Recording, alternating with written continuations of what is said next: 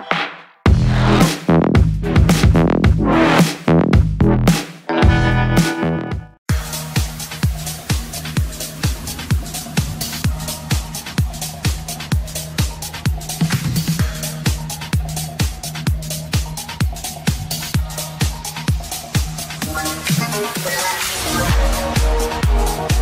back.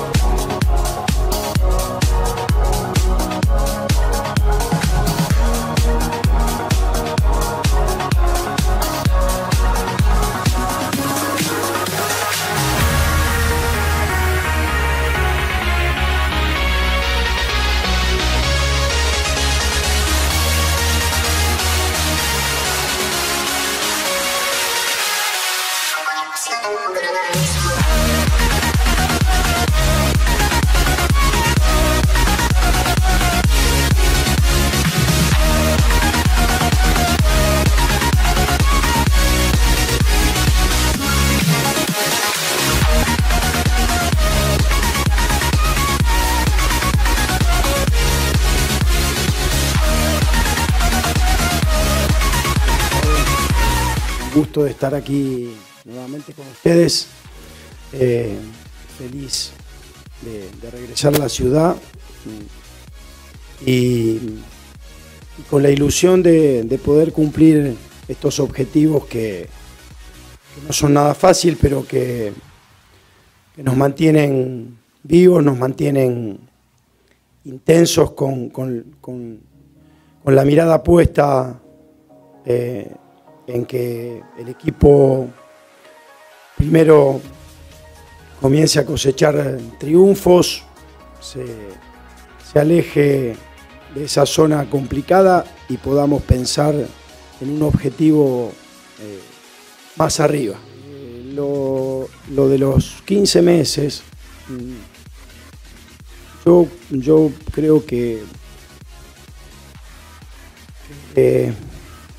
es positivo para todos, es una tranquilidad para, la institución, para mí, para los futbolistas, para la gente, como dice él, que vivió cierta incertidumbre, si yo seguía, no seguía, y bueno, eh, hoy se dio de otra manera la, llegada y, podamos todos eh, trabajar en este periodo de tiempo y a partir de diciembre ya en lo que viene, ¿no? Y, poder pensarnos de cualquiera de las dos maneras en, un periodo prolongado y con, la visión puesta en que este equipo vuelva a los primeros planos. Yo recuerdo cuando me tocó venir en, 2012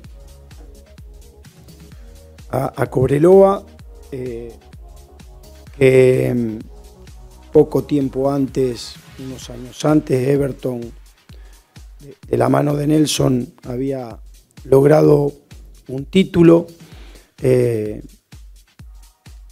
entonces, pensar en, en, poder estructurar un cronograma que nos permita afrontar el próximo año disputando eh, puestos más arriba, zonas de clasificación a Copa no, nos ilusiona mucho. Entonces, eh, pensemos en que todos conjugando los esfuerzos, cada uno desde su lugar, nosotros podemos regresar a esta institución a, los lugares de privilegio. ¿no? Y si bien eh, hoy los nombres son otros. Creo que las capacidades para poder tener una delantera un poco más goleadora, los futbolistas las tienen. Nosotros trabajaremos eh, en, tratar de dar esa confianza y en, diseñar entrenamientos que le permitan a esa delantera ser, ser más eficaz, más potente, más, con mayor capacidad de resolución. Creo que en la recuperación también de, Cerato, en,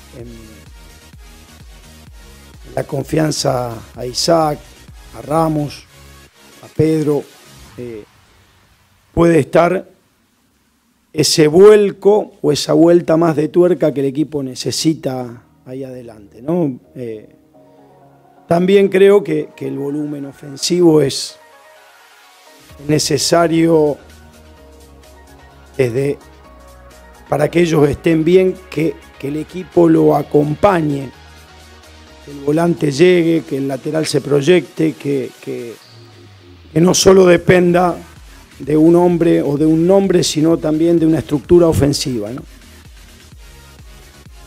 Yo digo que,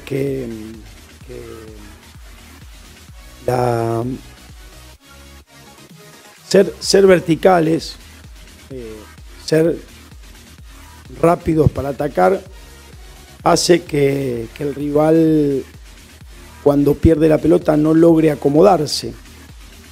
Lo que no quiere decir que cuando la comodidad para atacar no está, uno no puede utilizar el recurso de la tenencia en campo rival. A mí la tenencia en mi propio campo no es un no es, un no es algo que me guste. Yo creo que la tenencia cuando un equipo tiene que tener volumen ofensivo tiene que ser siempre en el campo de enfrente intentando lastimar y desequilibrar. Entonces, creo que muy importante no atacar con uno y con dos, sino con por lo menos cinco jugadores para que ese grupo de atacantes se vea acompañado. Segundo, tanto la transición rápida la podemos hacer con uno solo, con dos, o que cinco acompañen el ataque y que le den cierta tenencia con profundidad en el campo de enfrente. Lo mismo que el compromiso defensivo a la hora de perder la pelota, mm, lo vieron el semestre pasado, me gusta un equipo que, todos trabajen, ¿no? Eh, ¿no? no, quiero, no quiero que ninguno se desentienda ni de la función ofensiva a la hora de atacar, ni de la función defensiva a la hora de defender.